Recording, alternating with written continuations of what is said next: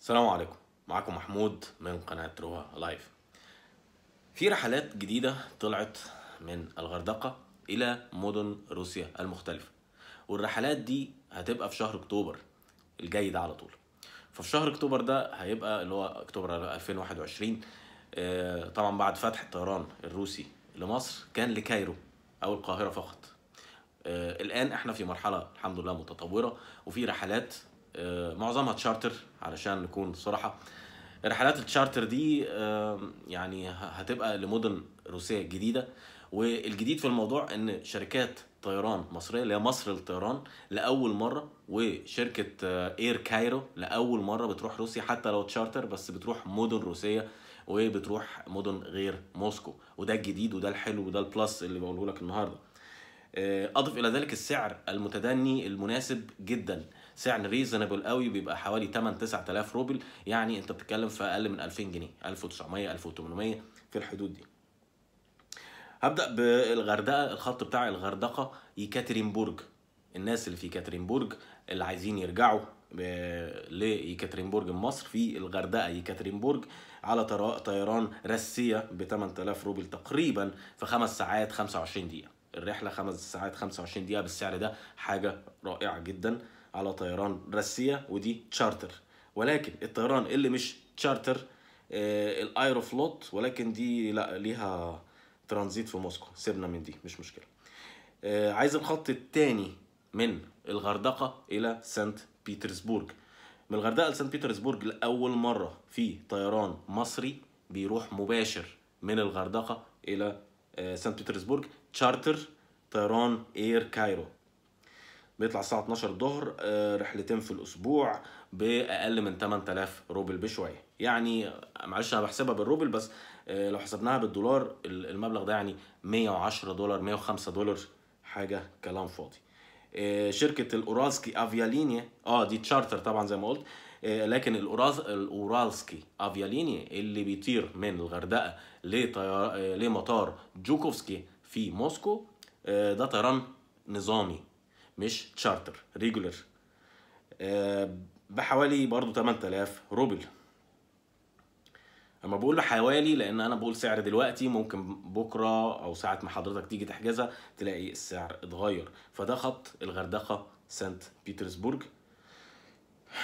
نيجي للخط آه، الناس كتيرة تهتم بيه الطلبة الكتير المصريين اللي موجودين في مدينة أوفا يهمهم يروحوا أوفا بسعر رخيص ومباشر. طيران مباشر على طيران راسية ب 8000 روبل تقريبا في خمس ساعات وتلت بيروح من الغردقة إلى آه، أوفا مباشر بيطلع الساعة ستة ونص الصبح من الغردقة يوصل آه، الساعة اتنين وخمسين دقيقة الساعة 14 50 يوصل أوفا لأن أنتوا عارفين أوفا بعدنا بعد مصر بثلاث ساعات.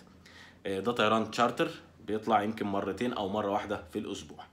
ده الغردقة أوفا. ودي الرحلة الوحيدة اللي أنا آه، وجدتها على هذا الخط. في شرم الشيخ آه، خطوط أخرى قلتها في حلقة سابقة ممكن أكررها لكم تاني لو عايزين. في شرم الشيخ بيرم في شرم الشيخ كازان دي برضو خطوط مهمة جدا. في شرم الشيخ سانت بطرسبورج في شرم الشيخ آه، موسكو. بس على مصر طيران مصر طيران أول مرة تطير من شرم الشيخ لموسكو كان عادة من Cairo لموسكو. عندنا شرم الشيخ موسكو على طيران أورالسكي ومصر الطيران وفي طيران آه، المصرية. المهم يعني في شركات طيران كتيرة جديدة آه، أول مرة تمشي على الخطوط دي. طيران راسية ما شاء الله داخل بالتشارتر بتاعه بأسطول كبير جدا أو بكمية كبيرة من الطيارات من الطيارات والرحلات. آه، معلش آه، بيحاولوا إن هم يغطوا المدن الروسية من شرم الشيخ للغردقة إلى هذه المدن الروسية. قلنا كازان أوفا سانت بطرسبورج يكاترينبورج آه، فيعني تغطية كويسة جدا.